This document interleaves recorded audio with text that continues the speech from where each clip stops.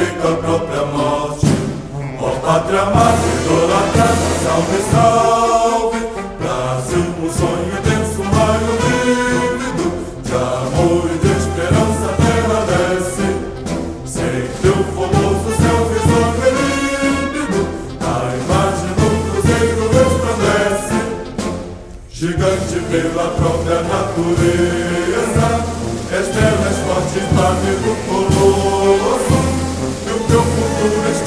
essa grandeza Terra dourada Entre outras mil és do Brasil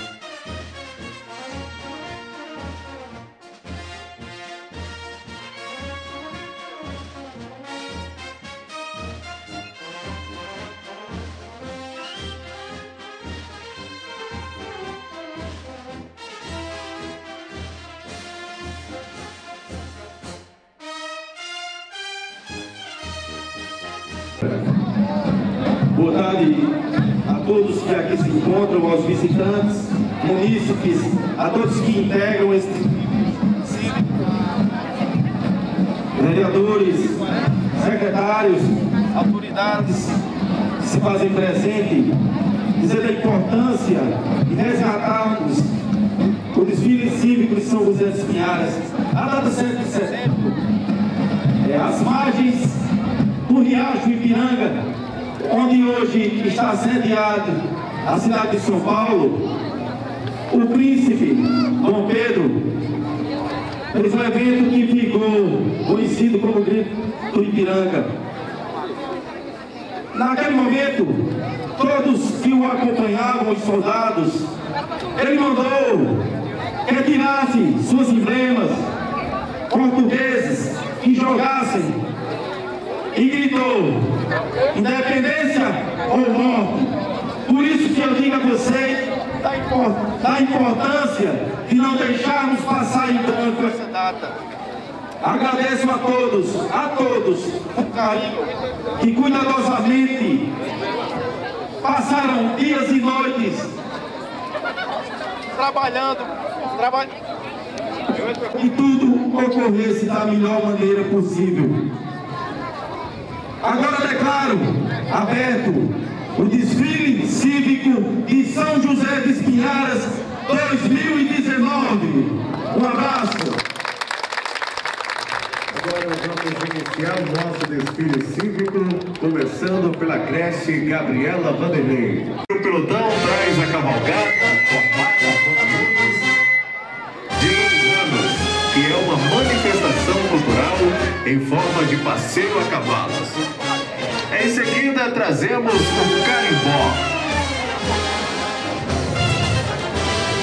Composto por meninas cuja dança é originária do estado do Pará, trazida pelos escravos africanos.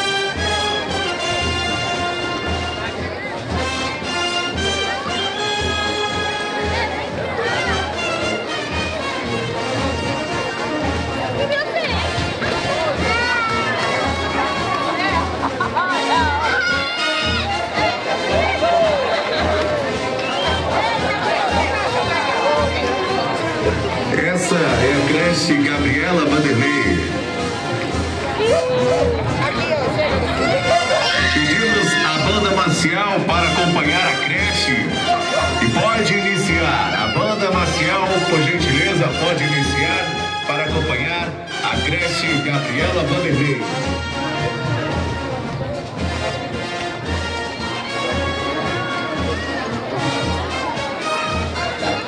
Banda marcial, por gentileza, pode começar a tocar para acompanhar o desfile. O segundo pelotão vem trazendo a quadrilha junina. A quadrilha junina é um estilo de dança folclórica coletiva muito popular no Brasil. Essa dança de teor caipira é típica das festas juninas do país.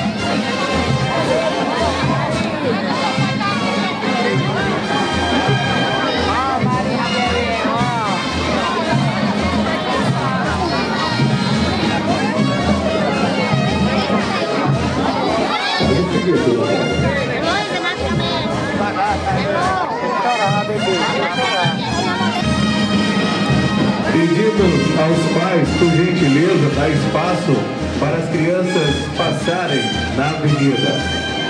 Os pais, é, ao tirar foto, por gentileza, deixar o espaço liberado para que as crianças possam passar aí na avenida.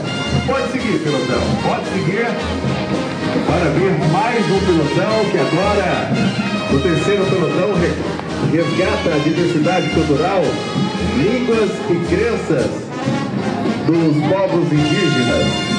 Calcula-se que existem mais de 230 povos indígenas no Brasil, com hábitos, línguas e crenças diversas. Eles estão espalhados em mais de 670 terras indígenas que já foram identificadas e homologadas. O nosso quarto pelotão trouxe o Rei Bumbá, a mudança do folclore popular brasileiro com personagens humanos e animais fantásticos que gira em torno de uma lenda sobre a morte e ressurreição de um boi. O quarto pelotão traz o, o frevo e a capoeira. O frevo é um ritmo musical e uma dança brasileira com origem do estado do Pernambuco. Já a capoeira é uma expressão cultural brasileira que mistura esporte dança e música. O sexto pelotão traz a literatura de cordel e a literatura infantil. A literatura de cordel é um gênero literário escrito na forma rimada. Já a literatura infantil é dedicada às crianças. Nela se inclui histórias fictícias, novelas, contos, obras folclóricas e culturais. O sétimo e último pelotão vem trazendo o chachado, que é uma dança popular brasileira originada do sertão de Pernambuco. Foi muito praticada no passado pelo cangaço, em celebração às suas vitórias. Daí, o desfile da creche Gabriela Vanderlei. Seguimos agora com as escolas municipais Federalino Vanderlei e Pedro Torres.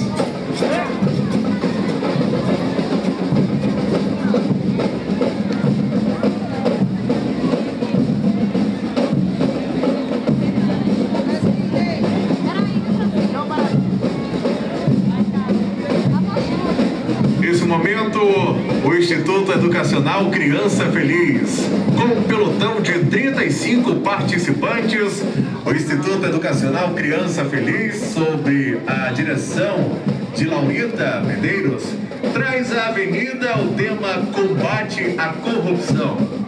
Com destaque, Franci, Francine Gomes, a porta-bandeira trazendo as cores e nome da escola. Abrem seu desfile trazendo representações de presidente da República, Polícia Civil, Polícia Federal e o Poder Judiciário. No subtema Eu sou a corrupção, nas cores vermelho e preto, se demonstra o luto e a indignação do povo brasileiro. No subtema Classe dos Trabalhadores versus Direitos Corrompidos, se destaca a luta e o luto do nosso povo.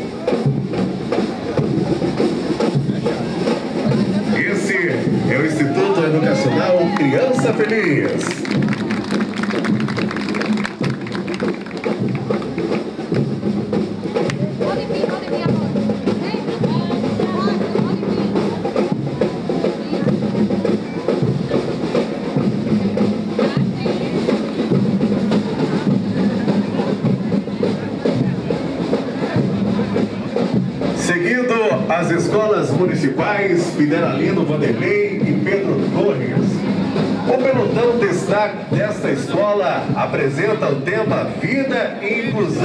Com o subtema Inclusão vem do coração. Os alunos trazem elementos da educação inclusiva com soroban, regletes, bengala para cegos, alunos cadeirantes e várias frases que chamam a atenção para os direitos das pessoas com deficiência.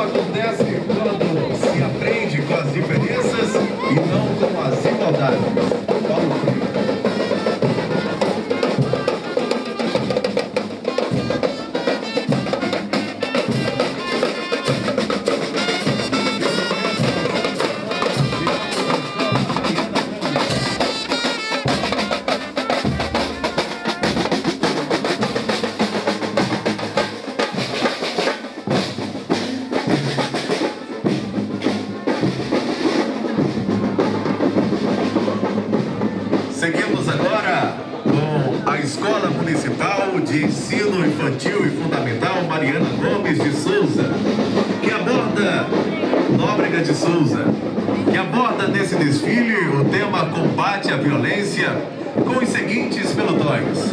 O primeiro, o primeiro pelotão, composto por todos os alunos do turno manhã, dos níveis 4 e 5. Primeiro, segundo, terceiro e quarto ano A. e quinto ano apresentam o subtema Violência no Trânsito, caracterizados de semáforos, usando roupas e faixas, enfatizando a importância da faixa de pedestre, placas que simbolizam a sinalização do trânsito, além de guardas de trânsito com roupas pretas e coletes laranjas.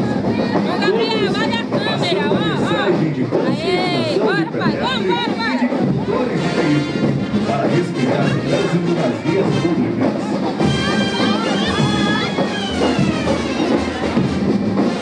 O segundo pelotão, composto pelos alunos do sétimo e oitavo ano,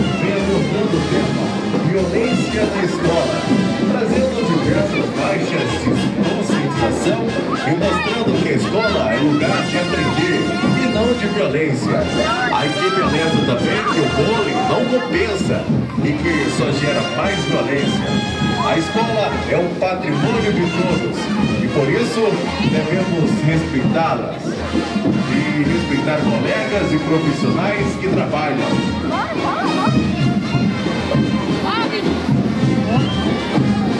Manter a escola, a escola Mariana Nóbrega.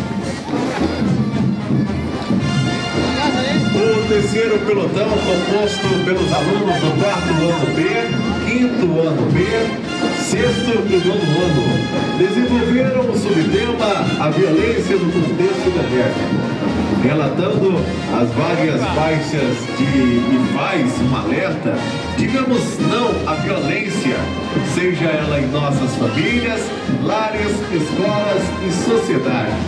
Não se cale, seja corajoso, denuncie.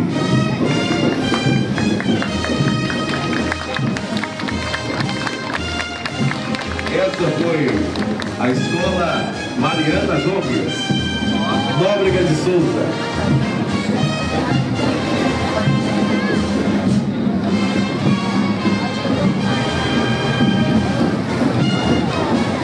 Seguindo com o nosso desfile, a Secretaria Municipal de Assistência Social, SEMAS, a Secretaria Municipal de Assistência Social, através dos serviços e programas, apresenta o tema relacionado à garantia de direitos. À frente, a locomotiva dos direitos, conduzida por integrantes do CRAS e do Serviço de Fortalecimento de Vínculos. Apresenta os direitos socioassistenciais, que são direitos consagrados e assegurados por lei. São eles acessibilidade, convivência familiar, convivência social, convivência comunitária, defesa, equidade rural e urbana, manifestação pública, políticas públicas, proteção social e renda. O programa Criança Feliz dá continuidade ao tema apresentado, a vida como importante direito. A campanha Setembro Amarelo vem alertar sobre essa realidade e também que somos responsáveis um pelos outros.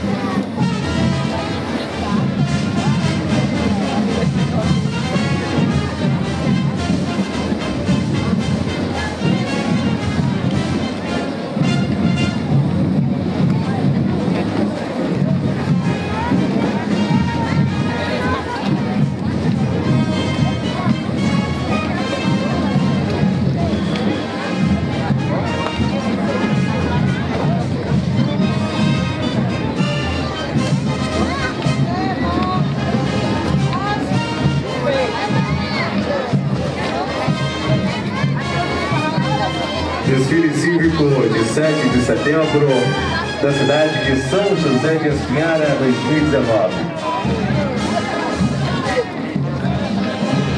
Desfile sendo resgatado aqui pela Prefeitura de São José de Espinharas.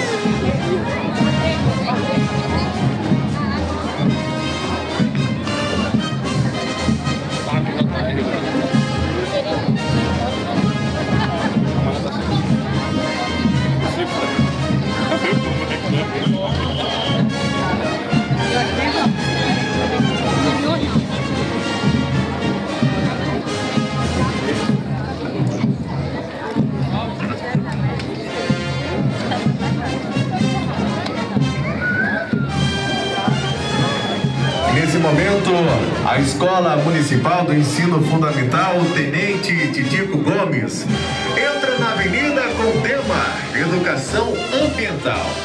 Inicialmente, a fanfarra municipal Tenente Titico Gomes abre o desfile da escola, seguida do primeiro pilotão, composto por alunos do primeiro e segundo ano, que trazem o tema biodiversidade.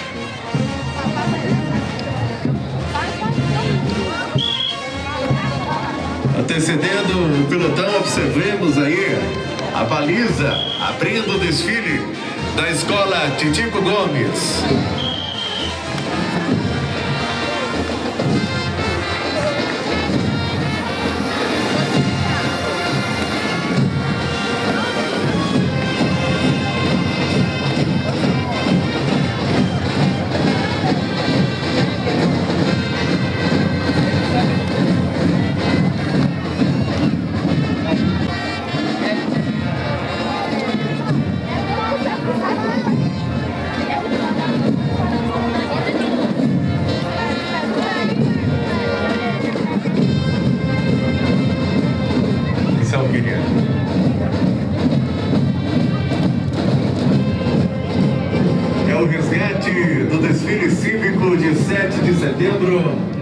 Aqui na cidade de São José de Espinharas.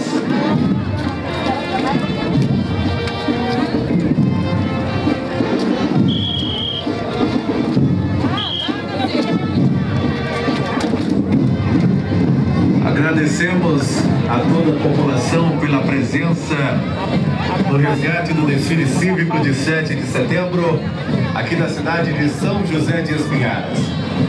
Continuando o primeiro pelotão, composto por alunos do primeiro e segundo ano, que trazem o subtema biodiversidade, dando ênfase para o cuidado com a fauna e a flora brasileira. As crianças seguem caracterizadas de flores, árvores e animais, trazendo faixas com dizeres de conscientização à sua preservação.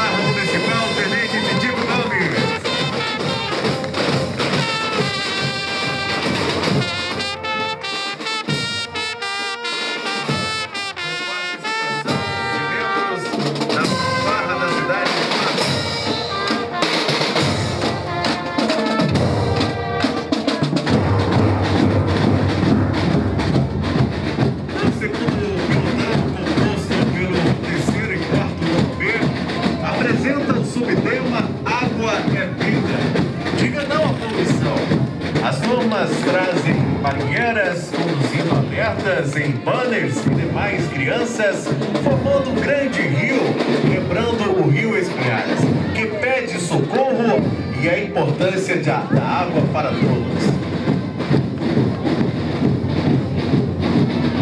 Seguimos agora com o quarto pelotão.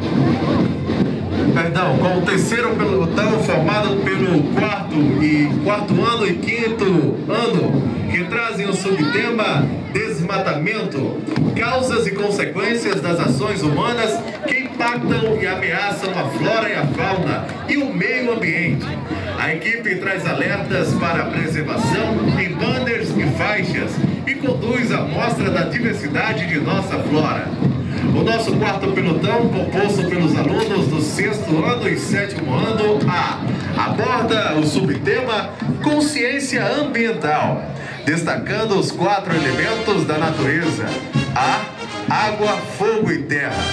Apresenta através de cartazes e banners a importância de preparar cidadãos conscientes frentes às questões ambientais, contribuindo para a preservação do meio ambiente.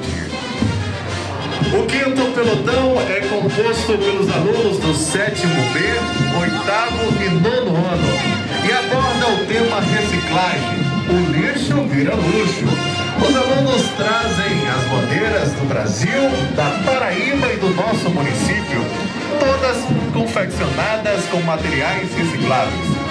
Ainda para explorar a possibilidade da reutilização de itens considerados descartáveis, a equipe exibe roupas confeccionadas com os seguintes materiais: CDs, DVDs, flores em papel, jornais e revistas, embalagens de pipocas e salgados diversos, copos descartáveis, barbantes, garrafa PET, partes de latinhas de cerveja, restos de fitas, dentre outros. Além dos lindos vestidos usados pelos destaques do grupo, os alunos apresentam filtros confeccionados por eles próprios, a partir de baldes de margarina e trazem faixas e cartazes que ressaltam a importância da reciclagem. Os agradecimentos especiais da turma à professora Jacileide Jarusso pela contribuição prestada.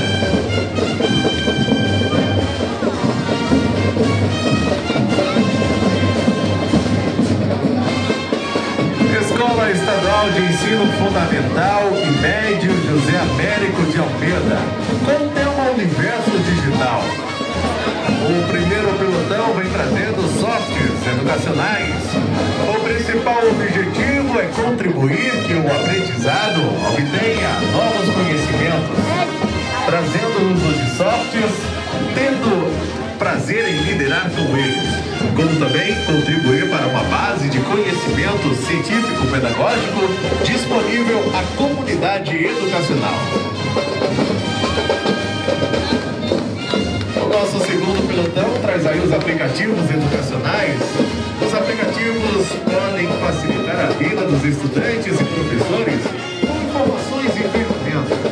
Tais apps podem acompanhar os os alunos na hora de estudar para as provas vestibulares, Enem, dentre outros. Nesse momento, a fanfarra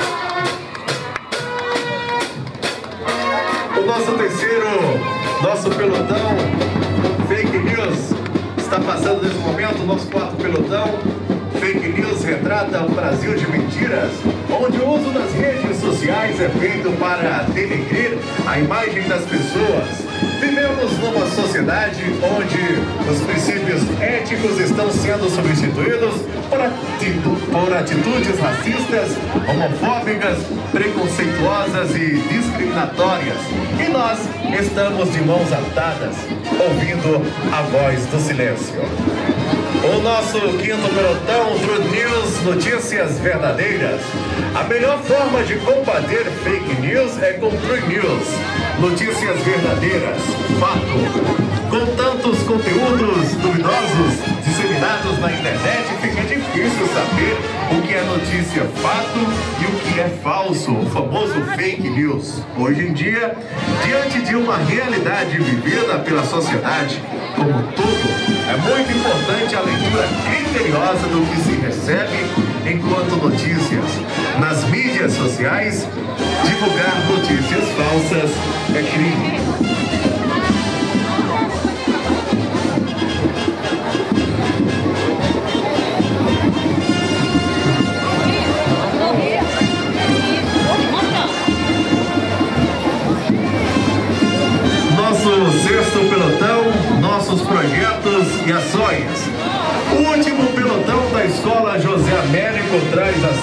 e projetos realizados nesse ano de 2019, com destaque para o cenário de Jackson do Pandeiro e para a vitória do aluno Renan nos Jogos Escolares a nível de Paraíba. Com muito empenho, desenvolvemos ainda ações nas mais diversas áreas do conhecimento, visando sempre o um bom relacionamento com a família e a comunidade. Esse foi o desfile da escola José Américo de Almeida.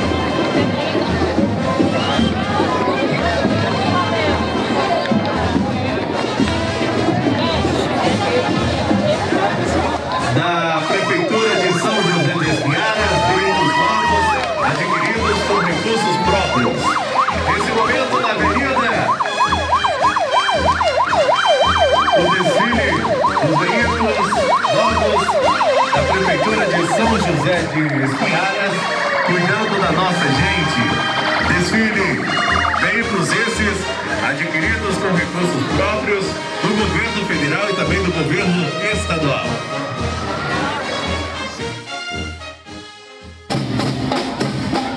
É o resgate do desfile cívico de 7 de setembro, aqui da cidade de São José de Espinhara.